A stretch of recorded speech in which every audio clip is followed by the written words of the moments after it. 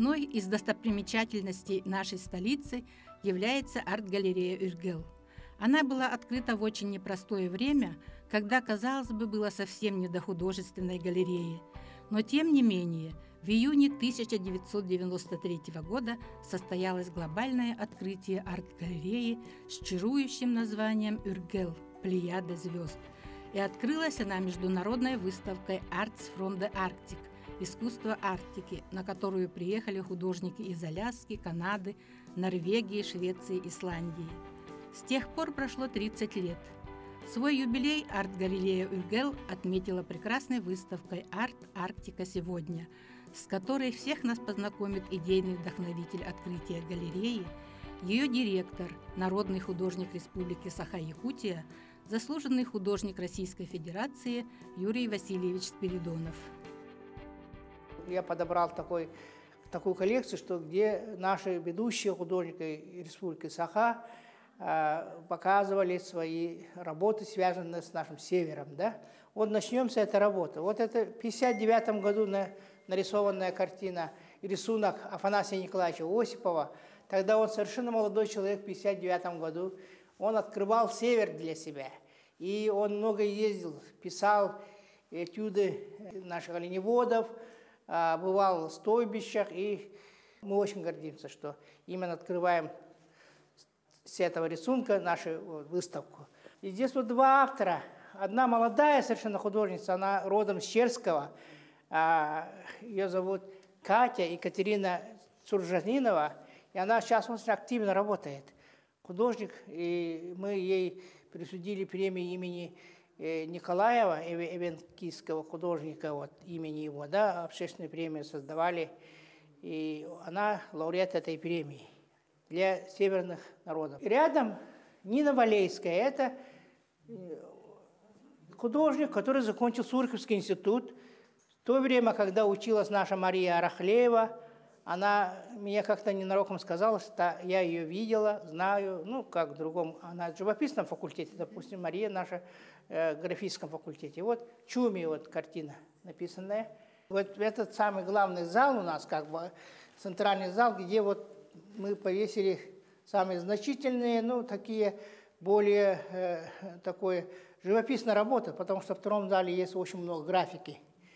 Вот. Ну, тут хочу показать, начать хочу опять Афанасия Николаевича. Да? Вот это редкая картина его семейной коллекции, меня одолжили его жена а, а, Татьяна Капитоновна.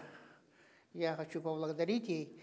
Она одолжила для выставки, потому что все его работы, его картинной галереи и нашем национальном музее, они собственности, да, поэтому не всегда бывает э, удачно взять такую работу, да, авторскую.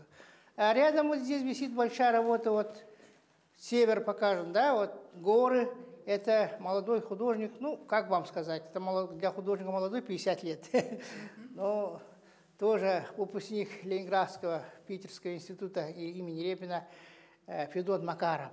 Вот. Он был в Эмикане, вот Эмиканские горы и олени. И рядом вот моя картина а, называется «Кочевье» из серии «Кочевье Долган».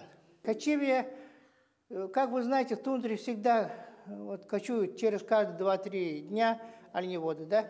Вот здесь я старался подробности не делать, а издалека показать простор, свет и вот тундры.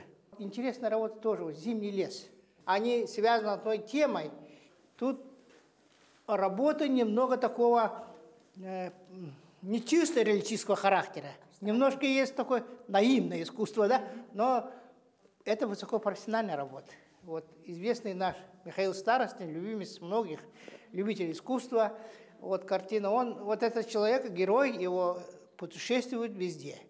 И в тундре он и с цветами ходит, и рыбы ловит, и свой снасти несет. Ну, такой он нашел такой свой стиль именно в таком ключе, да, именно такой образ.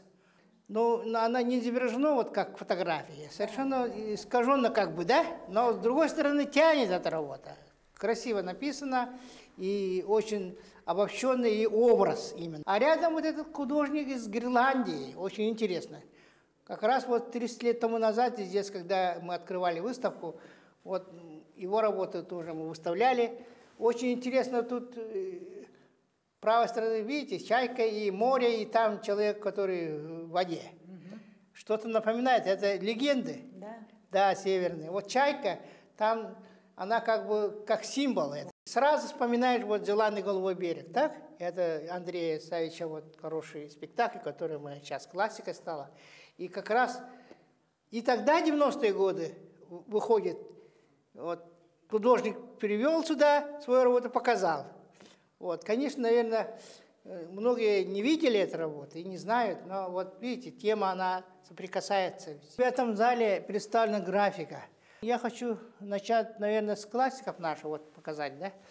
Вот в этом справа там, значит, натюрморт Валериана Васильева.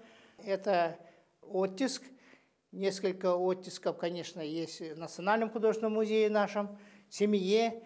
Вот э, в свое время эту, эту картину мне подарил сын э, Валериана. Каждый год раньше присуждали, э, ну, это 25 лет будет, премии имени Валериана Васильева молодым художникам до 35 лет, которые показали самые лучшие работы. Да? И эта премия учреждалась как бы общественная независимая премия. Уже нынче 25 лет этой премии. Если мы сейчас мы говорим, что премия Лампа пятый год, mm-hmm. это еще, еще долго, чтобы столько много продержаться да, и показать. Но это не значит, что 25 лауреатов мы вывели. Нет, там всего 9 человек, наверное, нынче стали лауреатом, потому что не каждый год да. смогли найти талантов. Не, не хотели уровень уронить, чтобы это был самый высший уровень, что ближе к достижениям Валериана Васильева.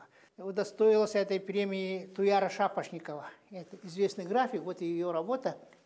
Вот, она в первый, в 99 году она стала лауреатом этой премии.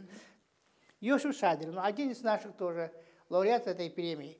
Вот эта техника линогравюра, это печатается на линолеуме, да, и штихелем это как и резьба по дереву, да, если просто по, по простонародному, если сказать, сложная, а потом печатается это.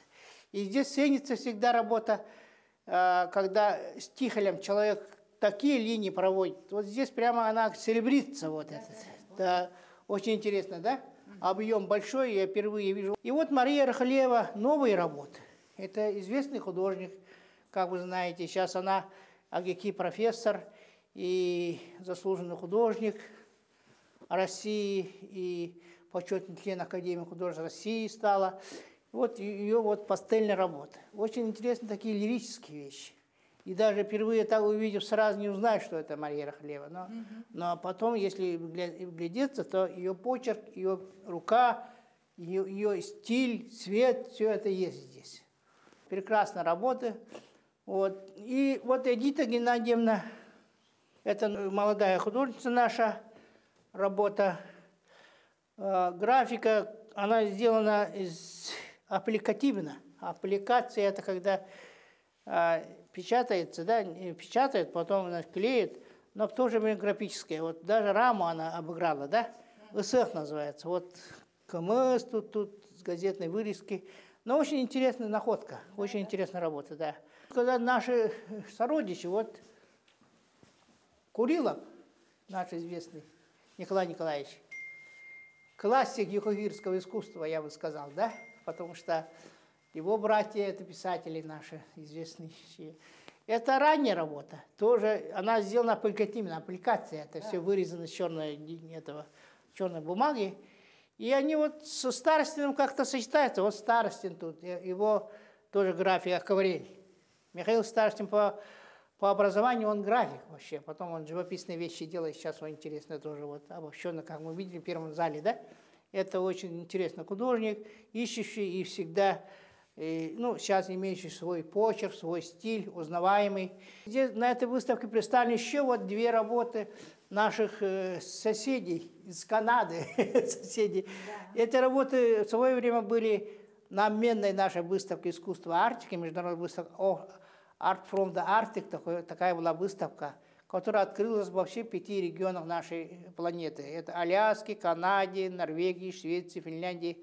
Все эти страны, которые там живут, наши коренные народы, Они представили тогда свою работу. И мы вот обменялись работами. Где-то наши работы якутских художников э, уже имеются в коллекциях уже тех стран. Канаде, Аляске, Норвегии, Швеции. Вот это, этим ценен была, э, был этот проект. Проект поддерживался э, ЮНЕСКО, и э, очень много было отзывов по всей планете тогда, и в 93 году. И а, когда приехали эти гости, они были, смотрели и наш театр, и они, значит, сейчас я связь держусь с некоторыми из них. Одна из последних моих работ – это триптих, называется «Лики Сибири». Почему Сибири? Потому что в Сибири очень много народа живут, так? Это включая, ну, мы входим в Дальний Восток, хотя Дальний Восток больше там. И, и Лика Сибири, там несколько изображены лица людей. И я, основная канва такая, центральная часть называется э, «Древо жизни». Это вот как раз Уланхой идет, Ал-Лукмас. Ал-Лукмас, и там есть два лица.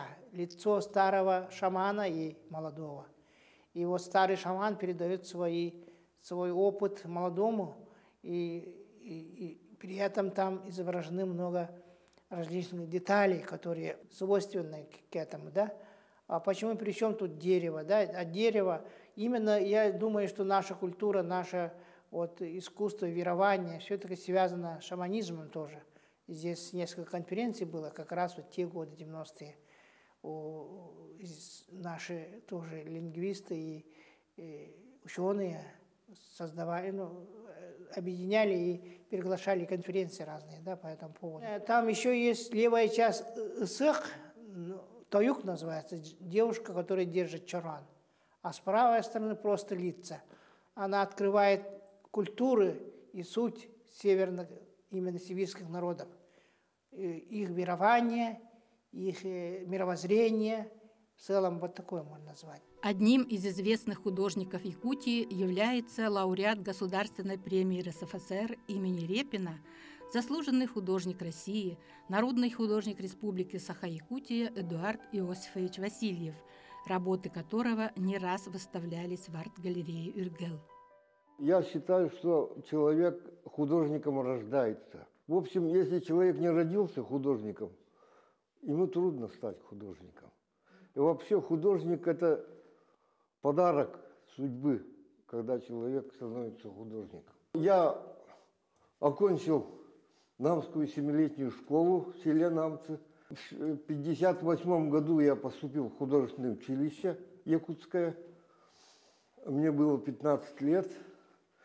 Затем я, значит, отслужил, окончил училище, отслужил в армии, женился – и потом поступил в институт имени Репина в городе Ленинграде. Окончил его в 1975 году. Но я считаю, что в то время школа художественная существовала, может быть, только в Советском Союзе уже как-то такой традиционной художественной школы э, уже как не было, может быть, ну, кроме Советского Союза потому что современное искусство стало очень свободным, профессионалов стало мало. Я почему об этом говорю? Потому что э, искусство, оно существует благодаря традициям. И вот традиции как раз мы сохраняли в Советском Союзе. Дело в том, что русское искусство, оно ну, как на основе мирового искусства – заняло, ну я не знаю, может быть даже передовое место в искусстве, русское искусство. И вот на основе этого русского искусства, вот наше якутское искусство, оно вот именно появилось и достигло высот своих. Представьте себе, что э, в стране, где, ну, в народе, где вообще не было грамотных людей, может быть, их говорили, что грамотных людей меньше, чем слепых. Такое было положение до революции в Якутии. Ну вот благодаря тому, что все-таки были интеллигенция появилась и появились первые художники, как Попов Иван Васильевич, он до революции уже, он учился тоже в Петербурге. И вот якутское искусство поднялось на, на уровень мирового искусства. Это явление как большое дело, я считаю. Что, ну, это не везде так бывает, чтобы там, где не было настоящего искусства, появилось искусство мирового уровня. Люди постарше хорошо знают, какое у нас было, ну, якутская графика, как высоко поднялась. Какие у нас были великие художники, как Лукин, Осипов, Семен Лаврентьевич Александров, вот, и так далее. А вы с кем из них общались в одно время, с кем начинали работать? Ну, я был знаком вот со всеми этими людьми старшего поколения, э, потому что, ну, вот тогда художников было мало, и преподавали многие в училище, когда я учился. В общем, я немножко был знаком со многими художниками. Я ездил более десяти раз в Дом творчества Академическая дача. Это находится близ города Вышнего Волочка. Художники России постоянно туда ездят, и там бывают лучшие художники России и Советского Союза. И вот с ними я встречался, общался. Так что э, я вот считаю, что то, что я смог стать художником, это, конечно, заслуга советской власти, я прямо скажу. А, я не люблю вот эту вот антисоветскую пропаганду. А, ну, я говорю, я человек отсталый. Вот. Я не люблю эту самую интернет, вот это все современное. Ну, я не знаю, мне кажется, что то, что я отстал, и мне как-то нравится. Так жить лучше, потому что человек живет не для того, чтобы э, комфорт был, не для того, чтобы деньги заработать. А человек живет, ну, я не знаю, как, как сказать. Вот искусство, оно ближе к жизни, чем наша экономика. Вот сейчас, например, мы все думаем об экономике. Как бы нам там заработать деньги. А ведь жизнь-то не в этом заключается. Э, важнее жизнь души для человека. Вот поэтому существует искусство, культура. Так что вот я очень как отношусь, ну, как благоговейно к искусству, особенно к живописи. А вот самая первая картина, которую вы написали, ну, мне повезло. Мои работы с самого начала как были замечены. Вот. Я являюсь лауреатом государственной премии РСФСР имени Репина, раньше называлась эта премия, очень престижная премия. Я ну, по получил звание заслуженного художника России – так что, э, а также народного художника Республики Саха. Так что мое творчество было специалистами, художниками и общественностью очень ну, хорошо оценено, принято, признано. Первая моя картина, которая имела успех, это «Аникпадий Сафронов с отцом» называлась. 907 год называлась она. У меня вообще работы э, документальные, как бы сказать, можно сказать. Вот название картины говорит об этом. Анимпади, писатель Анимпади Сафронов с отцом, 1907 год. Так называется картина. Но а, я за эту картину получил премию молодым художникам, впервые учрежденную она называлась э, премия ЦК ВЛКСМ Союза художников и Министерства культуры. Вот такая была премия. В 1977 году это было, это э, мы были первые семь человек, которые получили эту премию по России. Мои работы в основном на историческую тему, можно сказать. Вот. И все вот эти мои картины были приобретены с, с выставок. Мы сидим на фоне картины «Оленеводка».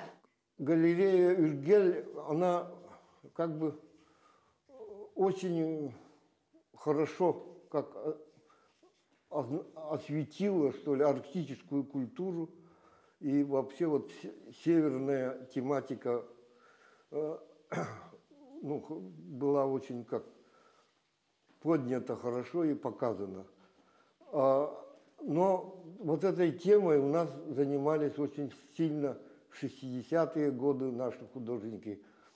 Э, э, Лукин, э, Осипов, они очень много работали, Мунхалов, вот, они, многие художники наши, ну, как бы заболели севером в то время. Вот. А у меня, наоборот, была какая-то, ну, как сказать, думал, что не надо гоняться за экзотикой, и поэтому ехать на север. Вот. И поэтому на эту тему у меня не было работ, на северную тему. Но вот где-то в 83 или 84 году Союз художников организовал творческую группу художников из Москвы, Ленинграда, Владивостока. И вот из Якутска я был один – и вот эта группа, мы ездили по Аллаиховскому улусу, по реке Индигирке, и мы находились там около 40 дней. Это было самое такое время, август, начало сентября, когда еще не холодно, но уже мало комаров. Вот. И мне просто, я влюбился в север. Мне так понравилась эта поездка. И вот а, я там написал, ну, работал, ездил, нас возили на, на вертолете прямо в стадо, вот, ну и по Андигирке. И я там написал, ну, примерные работы с натуры. И вот одна из них, вот, называется вот эта оленеводка. Ну, и тут еще две картины есть с той поездки. Ну и вообще у меня там были портреты. Вот. Так что вот мне очень нравится вот этот наш север, хотя вот я всего, к сожалению, был один раз. Регель для нас, для якутских художников, это вообще подарок судьбы. Это сколько тут было выставок прекрасных, интересных. Вот мне особенно помнится выставка «Черно-белая цивилизация» называлась. Это такая была, как сейчас говорят, креативная выставка. Очень с хорошим вкусом, на, на высоком профессиональном уровне. Она мне запомнилась и очень понравилась. Была выставка Николая Павлова здесь. И, какой-то в тот год мы отмечали Старый Новый год. Художники часто это делали здесь. И мы отмечали на фоне его работ. И мне тоже запомнилось, что были прекрасные работы Павлова Николая. Вот. Ну, у меня тут было две персональные выставки. Э, одна выставка называлась «Рисунки и зарисовки», а другая была посвящена моему 70-летию, кажется.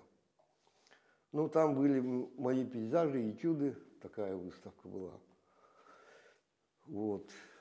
Так что Иргель – это такое, как сказать, явление, которое ну, просто очень помогло якутскому искусству в целом. Я так считаю. Скажите, а сейчас вы над чем-нибудь работаете? Я в последние годы работаю в основном над, над натюрмортами, потому что трудно стало ходить, например. Э, и я вообще люблю работать с натуры. И вообще, как сказать, все мои работы сделаны на основе натурных работ. Потому что я такой, как сказать, дотошный человек, что я не могу врать, не могу делать без натуры что-то. Придумывать не умею, к сожалению. Вот. Ну, это тоже одна из особенностей художника? Наверное, да, особенность такая. Угу. Я ездил э, в 88 году э, так называемый международный симпозиум по живописи. Это Болгария, город э, Пловдив, старинный город. И там были художники, ну, в основном с Балкан, и немцы были, и сириец там был, и поляки, и, в общем, э, европейских художников много было. И из Советского Союза нас было двое. Один ленинградский художник и я. И мы там в течение месяца работали и ну, общались, вот это было интересно очень. Это был как раз вот период, когда Советский Союз уже разваливался, но тогда мы все как с ума сходили по перестройке, там перестройка, Горбачев, это все вот было такое время. Но как бы э, вот такие события, наверное, уже после перестройки, что ли, уже не происходят.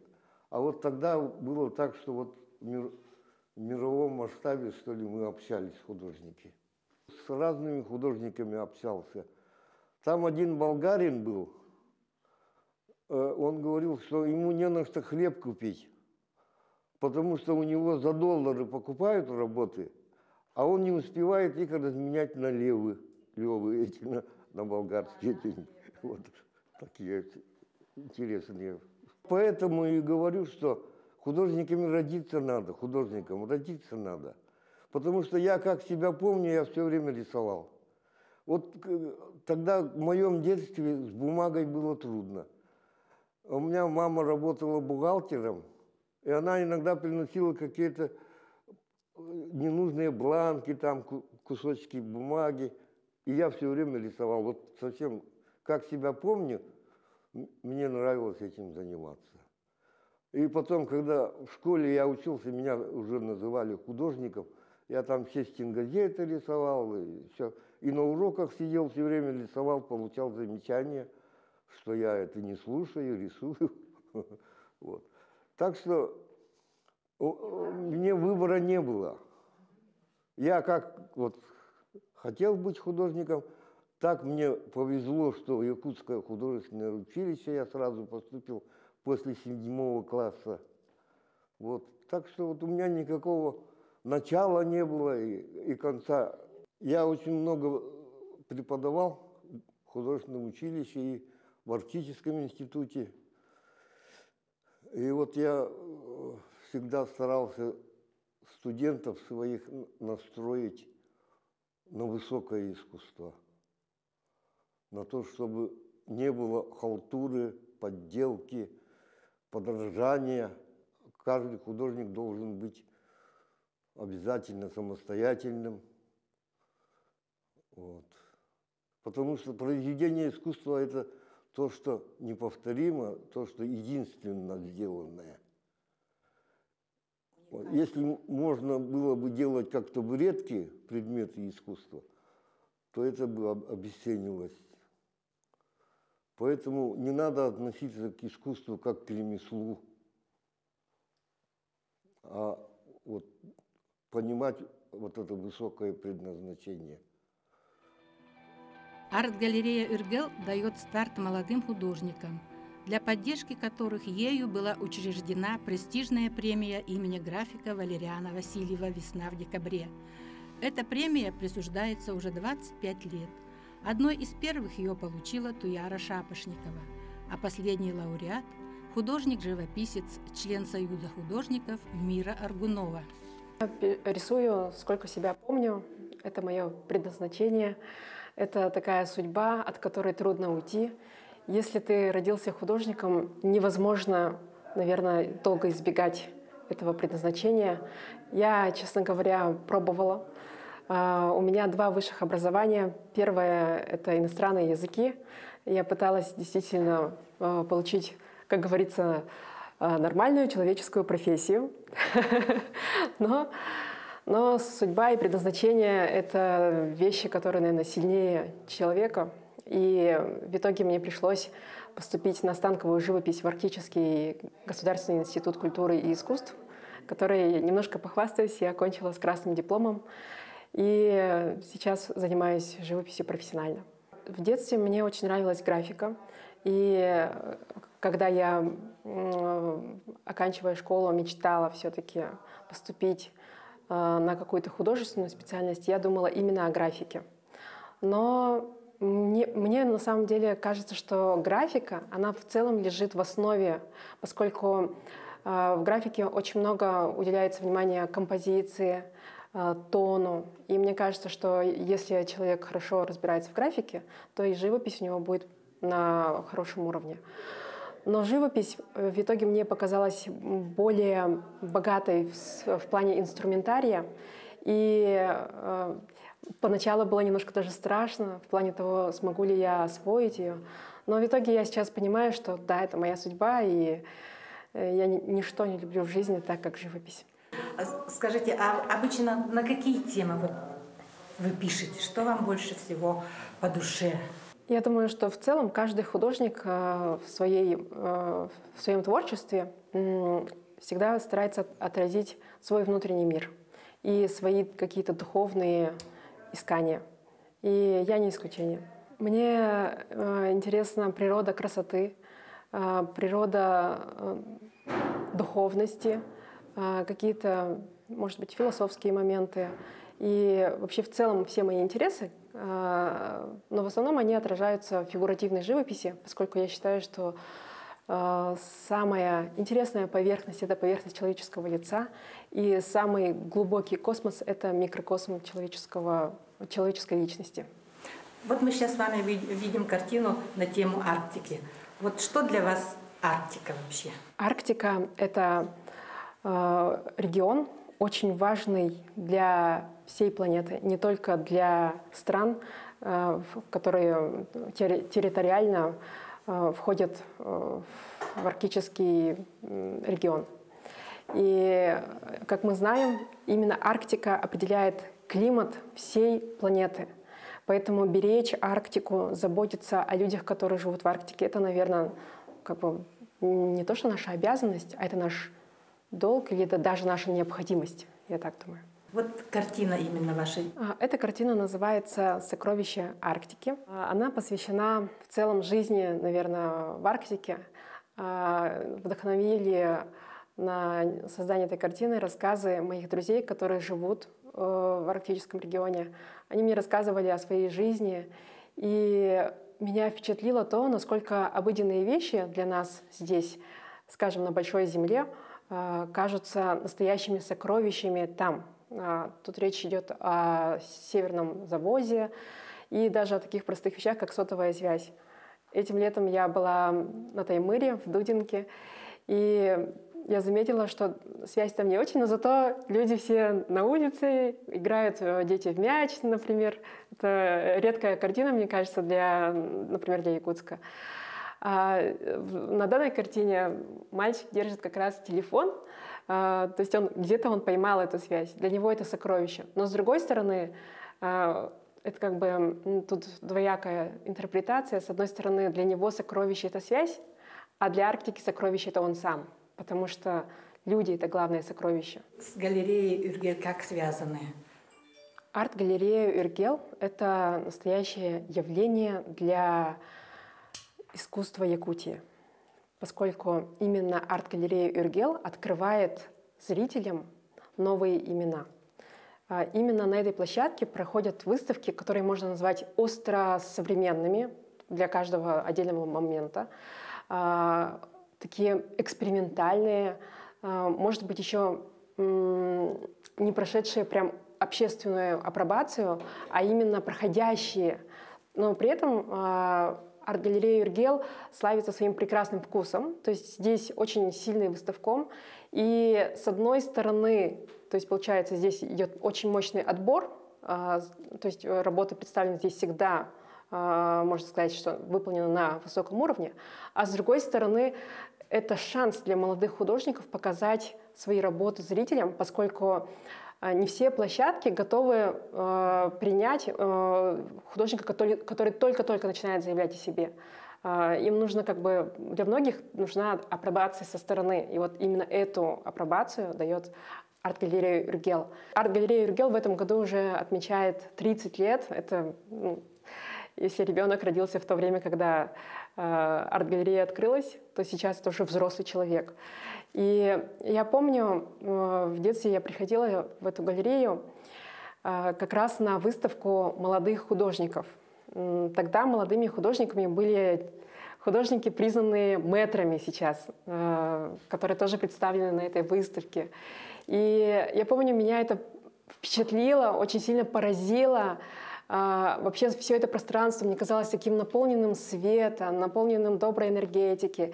И тогда у меня еще в детстве, получается, появилась мечта, заветная мечта, что когда я вырасту, когда-нибудь у меня здесь будет персональная выставка. И этой мечте было суждено сбыться. Я очень благодарна арт-галерее «Юргел», директору арт-галереи народному художнику Юрию Васильевичу Спиридонову, э, который поддерживает не только меня, но и других молодых художников за этот шанс.